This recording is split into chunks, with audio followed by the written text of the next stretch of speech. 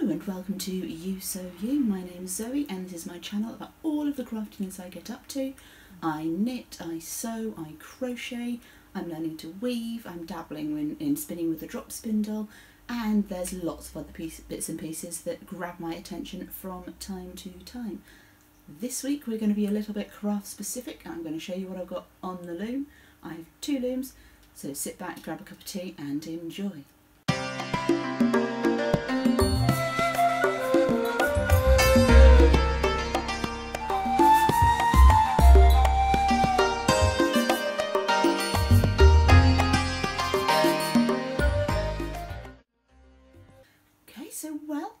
To any new viewers, welcome to my channel and for returning viewers, welcome back.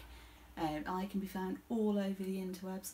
Um, on Instagram I am Zozie Mozie, on Ravelry I am Zozie M and I have a written blog over at ewesewyou.com so feel free to follow along and find me in all of those places. I will put all the details on screen and in the description box down below. If you are a returning viewer, I expect you've probably already found the subscribe button. If you're a new viewer, I suspect you already know where it is as well, so feel free to give it a little bit of a tap uh, and the thumbs up as well if you like what you see here. Now, if you've been watching the show for a little while, you will know that I've been learning to weave on an inkle loom. So an inkle band, for those of you who don't know, is a narrow warp-faced band. Um, it can be used for belts, ribbons, um, embellishments and all sorts of things. It has quite a long history. Yeah, it's been seen in Viking clothing, Roman clothing and all sorts of places. Um, there's some discussion around about where the modern version of the loom originates from, but suffice to say, this is an old technique of weaving. It goes along with backstrap weaving and tablet weaving in terms of things that people tend to do at like medieval fairs and recreations and reenactments and that kind of thing. Um, so this is my inkle loom. I have an Ashford inklet, which is a small loom. Um, you can get much bigger looms. The Ashford inkle loom is probably about twice the size. I'm not totally sure the exact uh, multiple that we have. Um, but it's a very simple loom. It's quite small, it's quite compact. Then, as I say, they can come in various sizes on the internet. I've seen some that are floor standing. Um, the size of the loom varies the length of the band that you can make on it. So this is my inklet all warped up. I have done a short warp on this one, which means that um, I've come down here, to take the shuttle out of the way, just tuck that there for now a little bit. So I've come down the side here um, with my warps before coming into the tension peg rather than weaving across the loom which would give me a longer band when I finish weaving it.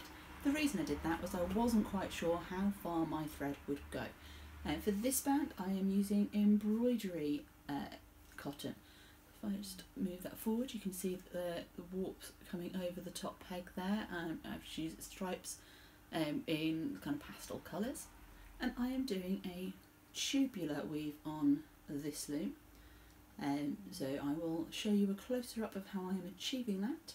Uh, normally I would be weaving back and forth uh, and creating a flat band like a ribbon that I could then use to stabilise shoulder seams if I wanted to or to decorate the outside of a, of a garment. When I get good, I'm planning to use it lots in my sewing, but at the moment I'm still learning how to achieve it. Um, this band actually goes round because of the way that I'm weaving it. Um, so I will insert a close-up of this loom being woven for you. Um, and then once it's finished I will take it off the loom and show you what happens once you remove the band from the loom. For those of you that don't weave, warp is the long threads coming this way and weft is the one that goes across, that actually does the weaving bit that you are familiar with.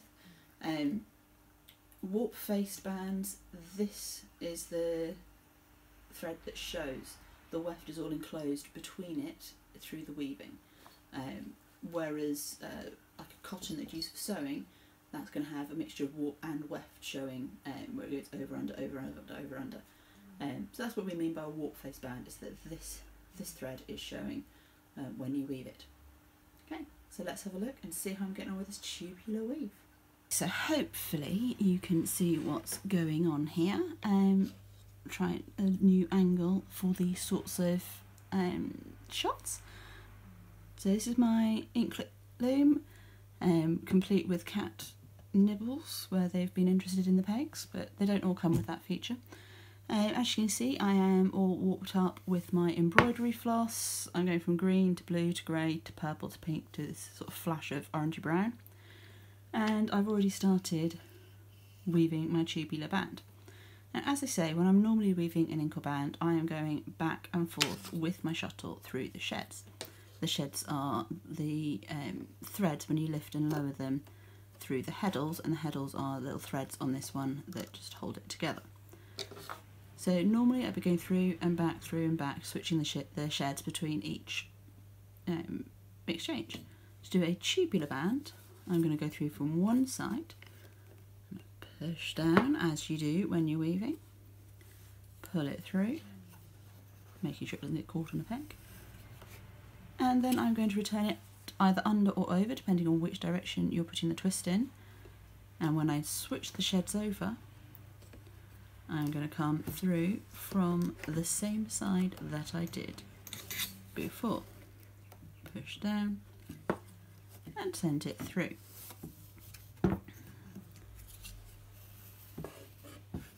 So I will just advance the warp and show you that again and then I'll show you what happens on the underside of this band.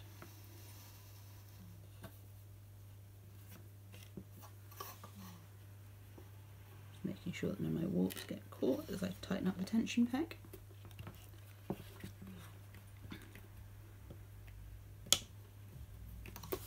take my shuttle back to this side, switch the shed over,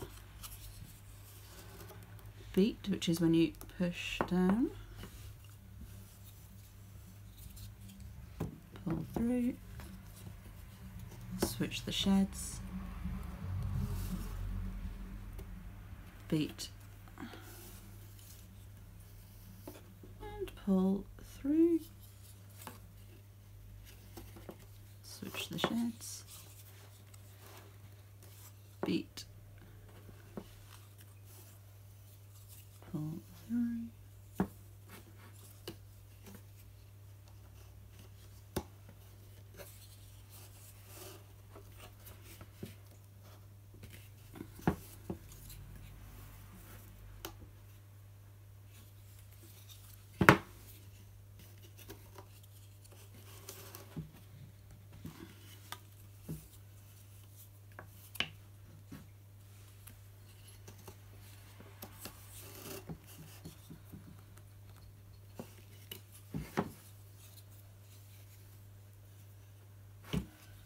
Okay, so that's what I'll be doing the whole way of this warp. Should make sure my tension peg is as tight as it can be.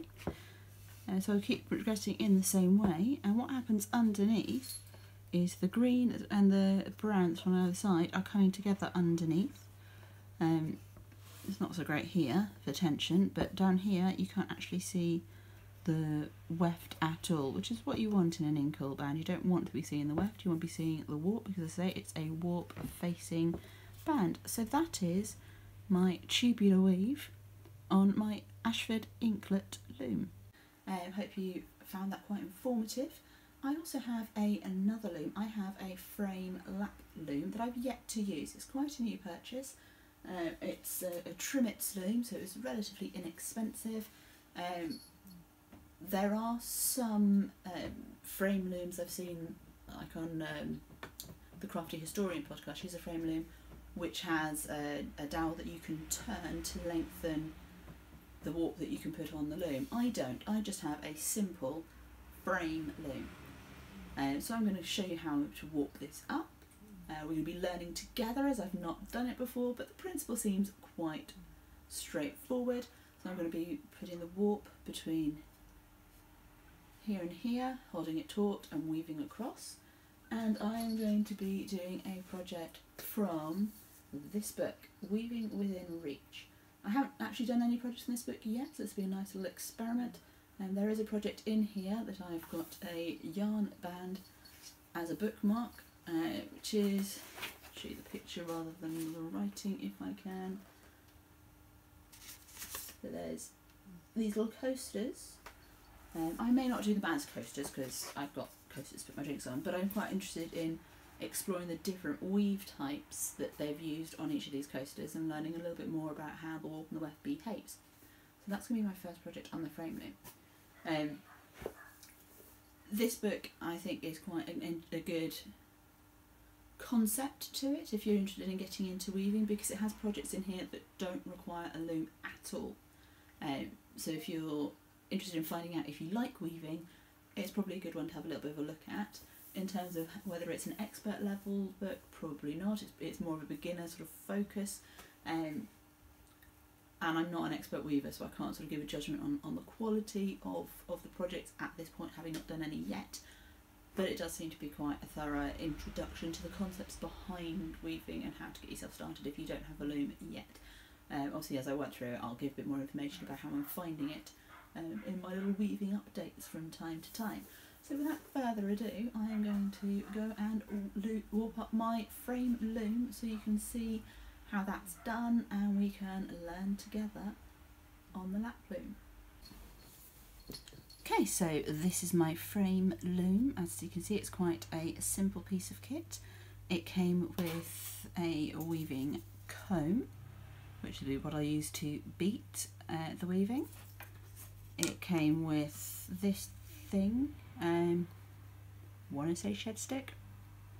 Um, this basically rolls and adjusts the shed, like I was doing my hands on the inklet loom. It came with a long shuttle, which is wide enough to go across the two, and it also came with a weaving needle, which would be useful if I was doing uh, decorative wall hangings, any sort of tapestry. Um, so I'm not going to need that for this project, so I'm going to put it to one side. I also have here my weaving threads. These are bamboo. Um, I've got two different colours because I thought I'd experiment and see what it's like with two different colours coming through the weave. I'm going to use one for the warp and one for the weft. Um, so let's warp it up and see how we get on. Um, obviously I've got scissors as well to cut my threads. To, you know what they look like. So it, the, all the instructions that I've read tell me to start in the bottom left corner for the um, for the warp. So let's just pretend that I've got this rotated 90 degrees um, and we will call this the bottom left corner. Now it's telling me to use a clove hitch um, or to tie it on to the bottom left corner. So let's have a go and see if we can work out the clove hitch. Okay, so with the tail of your yarn make two loops in a row with the tail on top. Let's try coming from the working out. Bring the first loop you make on top of the second loop, place them on the tooth.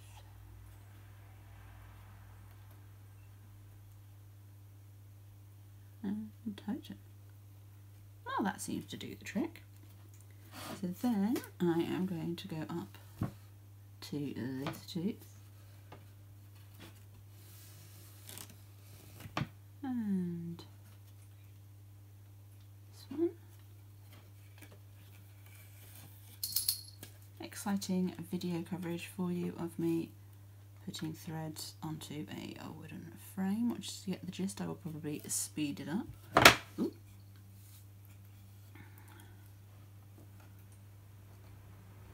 this is my first time warping a frame loom so I am sure this will become a faster process as I get more used to it. I am trying to keep the threads under tension as I go. But, uh, I also don't want to get too too tight because I'm going to be lifting and lowering uh, threads as I go. Uh, I'm just going to weave across the whole length of this loom I think. Um, because I can. What I'm going to use the fabric once it's done. I'm going to, the aim is to try a few different types of textures um, so that I can have a go and learn as I go.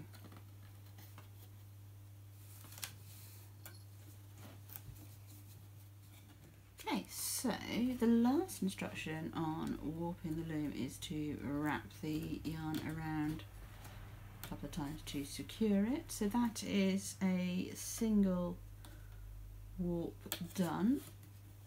However, for the project that I am doing, um, I'm going to be doing a double warp.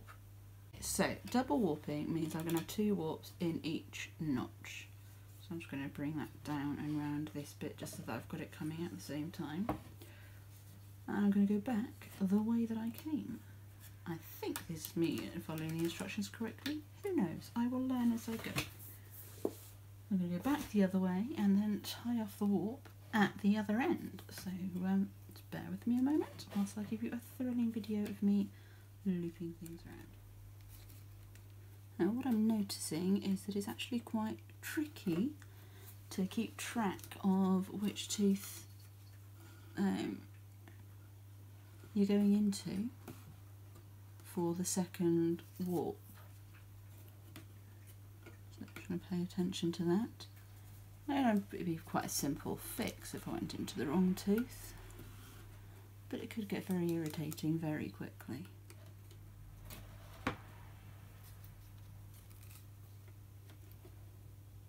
I might need to get a mat for when I'm doing this on camera, stop the frame sliding around a little bit. Not that I'm intending on doing much warping on camera, which will be interesting for you guys to see the first one if you are thinking about learning to weave along with, with me. As I say, I am very much the beginner weaver. So you are more than welcome to join me on my journey. We can learn together and share the little tips and tricks that we learn along the way.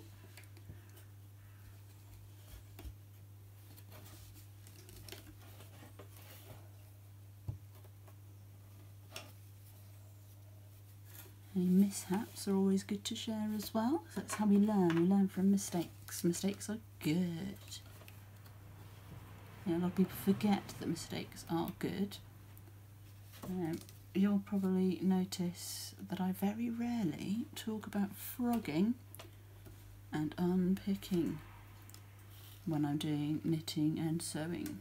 That is largely because unless it's something major that's going to affect the fit or that I am going to get irritated by, I generally work with my mistakes and learn from them for next time. Um, an odd, the odd stitch out of place is not a massive issue to me. No judgment if you are bothered by that sort of thing. That's entirely up to you.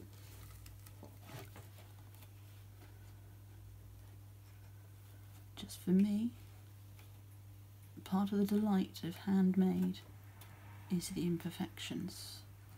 Okay, so that is this loom warped up with a double warp. I'm just going to secure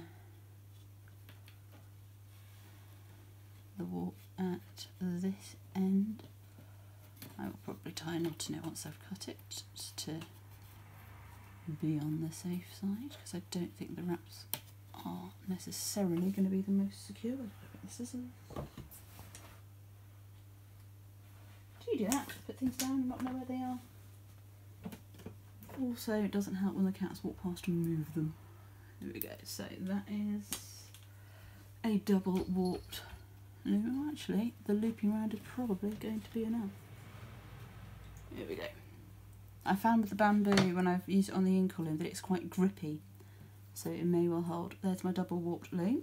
The next thing the instructions tell me to do is to insert a spacer now this is something that I do on my inkle loom as well. Um, essentially it gives me a nice straight edge to start with. Um, so I use bits cut off the packaging that the loom came in to to do that. Um, so I will insert a spacer and I will probably do a little bit of, of scrap thread first. Just to um, get me started and make sure it's neat. Because I find um, on the loom that the initial bits can be a little bit on the uneven side when you when you weave it. And the instructions do tell me to put in a header and a footer basically the top and the bottom with scrap yarn to keep it neat. So I need to put some thread on my shuttle. So I use a different colour for the header. That's this colour. It's going to blend in with what I'm using for the weft. So it's going to go from one end of the shuttle to the other. I'm going to put a a fair bit on, but not like massive because this is just going to be a few rows top and bottom.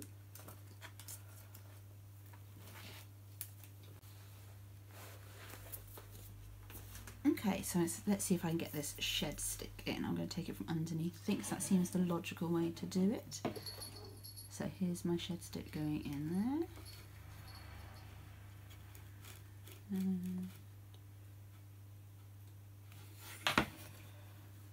Okay, so you see as I roll my shed stick, should see my sheds lift and raise. Not sure what's going on at that end. There we go. Okay, so as I get started, I'll take a little bit care and attention to make sure that things are going properly. So here's my shuttle with a little bit of the darker yarn in. So create a shed.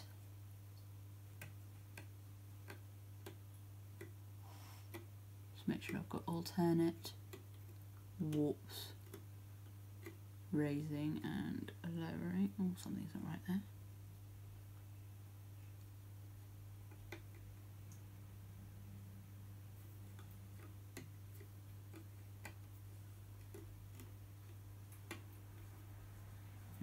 Two in there. Greedy.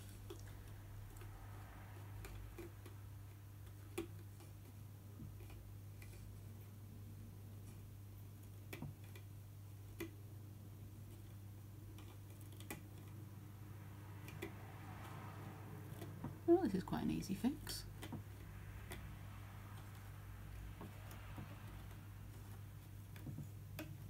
I imagine as the weaving gets more established, that'll be less of an issue. Okay, so I am going to put a spacer in. This is my spacer. It's just a bit of cardboard cut off the box the loom came in. The reason I have used the box the loom came in is largely because I know it's going to be wide enough. So it's just going to give me a straight edge to get my first couple of rows on it is also going to make sure that I don't weave too close to the ends. So that way I'm going to have a length of, of, of threads that I can use when I'm finishing up to secure to make sure the weaving doesn't come undone. So shuttle, spacer, shed stick. Here we go take a length off there, send my shuttle through along the spacer, and move my shed stick down a little bit I think just to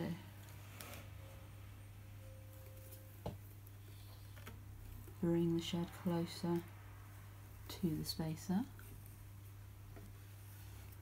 I'm going to hold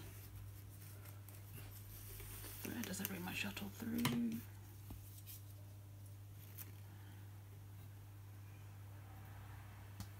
Hmm. Well, that's not gone right there. Let's take that out there. I've gone over some of the ones I should have gone under there because things have dropped down into my shed stick.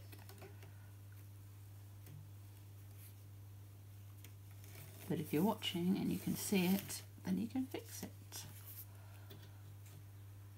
Okay, so now I'm going to roll my shed stick and switch my shed round, making sure I've got alternate warps going down.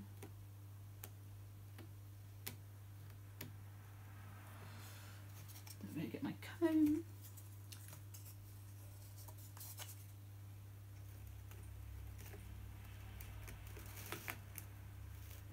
Just give that a little bit of beat. And now we're going to come back this way. I would come in closer to the shed stick, but the tripod is just in the way a little bit at the moment. So just making sure going over and under.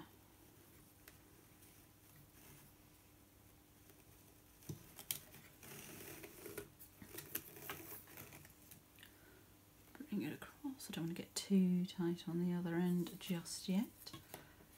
Change my shed round.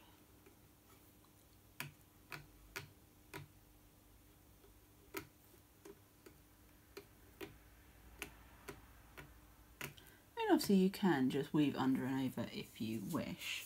That's what I would be doing with a tapestry needle anyway. A weaving needle. Okay, just make sure that is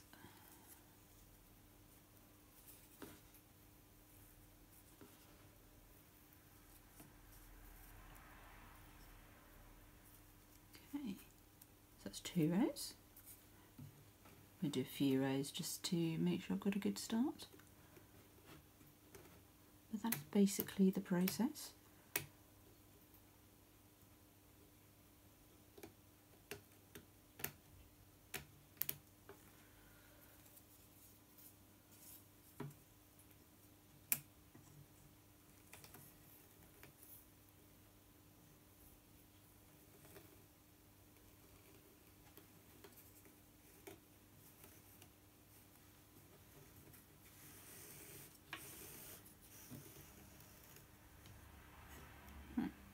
Well, that didn't go to plan.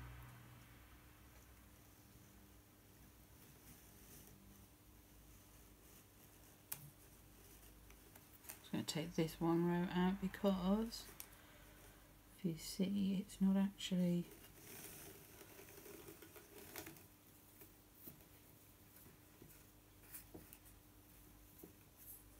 hooking on at the end and also I don't want to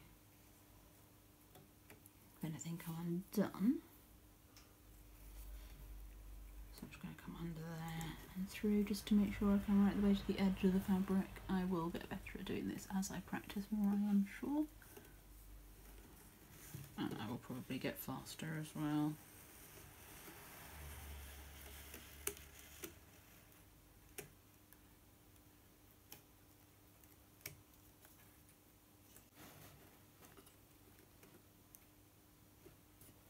Okay, so I'm going to get this header done and get the fabric started and I will update you next time and do a weaving update on how this fabric is progressing and which different types of weave I have attempted. Okay, there we go, my all set up ready for me to go. Until next time. Okay, so thank you for watching. I hope you found my little inserts on the weaving interesting and informative this week. Uh, I am intending on doing re fairly regular uh, weaving updates. Obviously life gets in the way a little bit, which is why it's been a couple of weeks since my last video. Um, but I'm hoping to get back on a regular schedule now, so let's see how often I get some weaving in. Uh, hopefully at least once every couple of months, if not once a month, I'll be able to bring you some weaving content. Next week I have some finished object objects to show you that I've already finished, but I'm saving up for next week. And hopefully there'll be some more to join them. Um, so next week will be a little bit more knitting and sewing focused, um, but I will update you on, on any weaving developments as well. In the meantime, have a great week. Like and subscribe down below. Follow me all over the interwebs, and I will see you next time. Bye bye.